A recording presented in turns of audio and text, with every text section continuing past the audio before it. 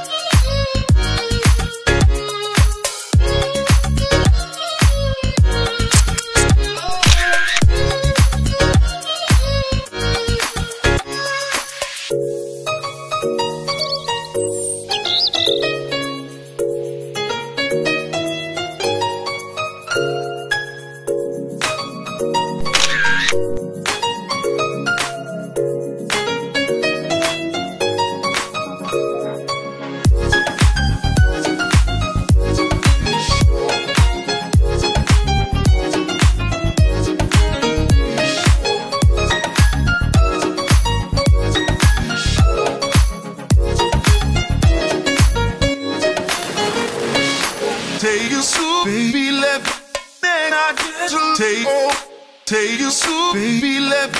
It's a little patient. Take you so, baby, let me. Then I get to take, take you so, baby, let me. It's a little patient. Take you so. Alhamdulillah udah sampai Jakarta. Sekarang mau ketemu sama semuanya ikut deh.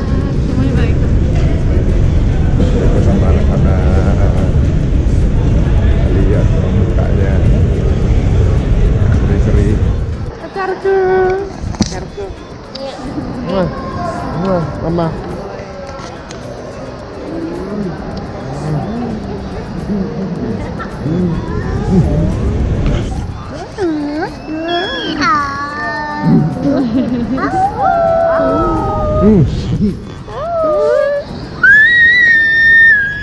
Kangen banget.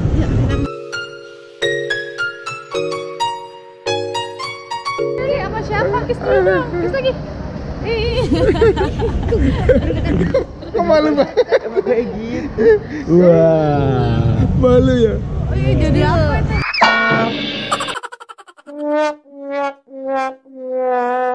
Itu jadi apa? Jam tante Dini. Jam. Momo.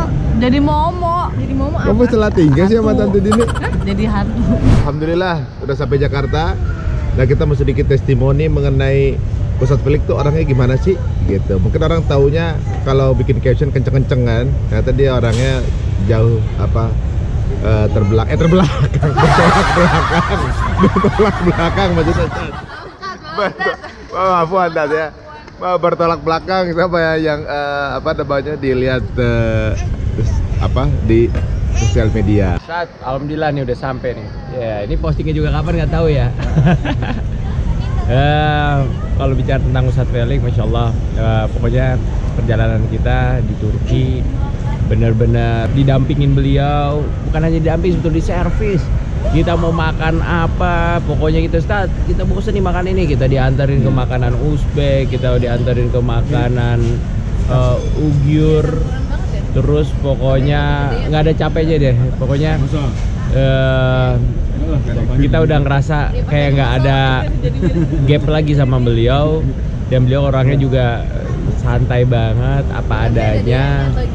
eh, fleksibel banget. Kalau semua ini terus kalau ngomong juga kita bercanda kayak teman tapi bercandaannya tidak hanya bercandaan yang nggak ada isinya. Tapi di saat kita bercanda pasti ada ada pencerahan-pencerahan dari beliau. Bercandaan kita pasti membahas masalah sejarah bercandaan kita yang diawalin dari bercanda tapi akhirnya mungkin bisa topiknya jadi masalah rumah tangga atau situasi yang lagi kita alami di saat itu gitu.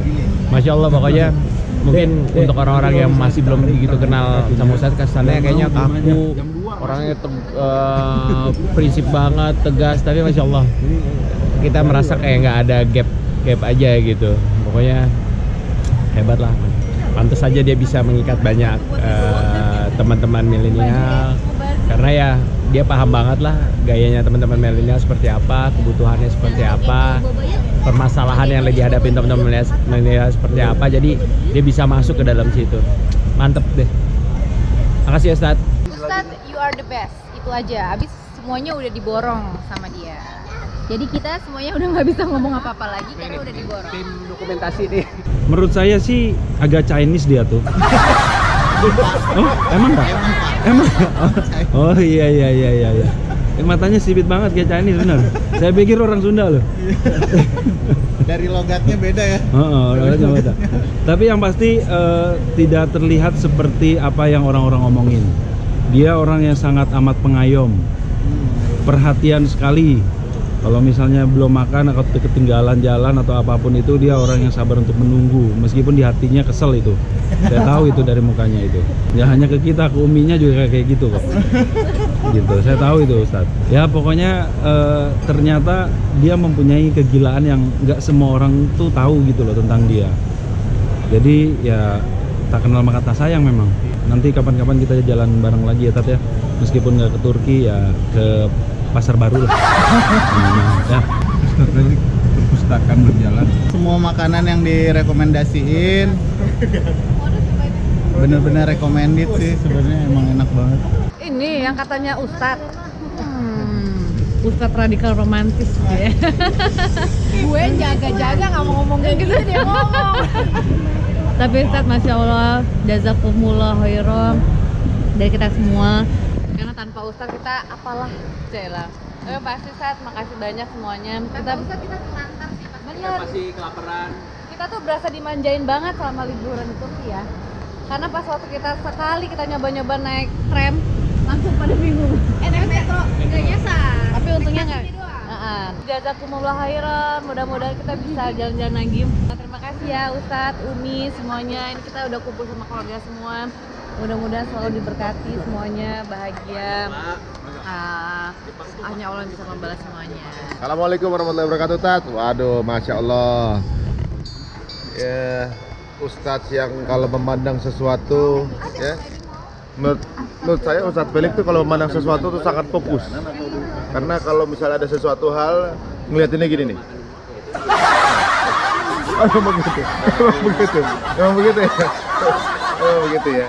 Nah, katanya denger-dengar kalau marah baru eh, matanya wajar. Aduh, masya Allah. Bercandanya luar biasa Ustadz dan eh, banyak pencerahan. Orangnya tuh benar-benar membuka mindset gitu ya. Jadi kadang-kadang orang di luar sama sana cuma memandang satu sisi aja, di mana kadang-kadang dia memang agak sedikit keras dalam membela agamanya. Tapi beliau itu memang sangat membela kalau ada yang menyinggung agamanya dia bela gitu. Sebenarnya nggak nggak pernah dia tuh membuli karakter orang lain tuh nggak pernah beliau ini. Justru dia sangat stand out dengan agamanya menurut saya itu. Jadi kalau mungkin ada yang nggak sepahaman, beliau tuh sangat suka untuk berdialog berdialog, bertabayun, ngobrol dan ternyata semua tuh ada dasarnya. Dasarnya itu masuk dalam logika kita gitu. Nah, andaikan semua eh, seperti itu gitu atau semua kita sama-sama suka untuk ngobrol eh, apa namanya eh, sharing bertukar pikiran pasti semua akan akrab. Tapi nggak apa-apa mudah-mudahan eh, pelan-pelan nanti orang akan tahu ya bagaimana romantisnya seorang Ustadz Felix bagaimana beliau memberikan bunga tulip yang warnanya merah. Nyari bunga, bunga tulip itu susah dan dapetnya juga mahal satu lira gitu. Dikasih ke istrinya diambil lagi. Yang beli juga kita ya selamat jalan-jalan Ustaz. Lanjut ke Mardin dan kota-kota lain. Jangan lupa kita akan tunggu jalan-jalan berikutnya di negara lain. Apa pun negaranya pasti ada Muhammad Al-Fatihnya. Ya Assalamualaikum warahmatullahi wabarakatuh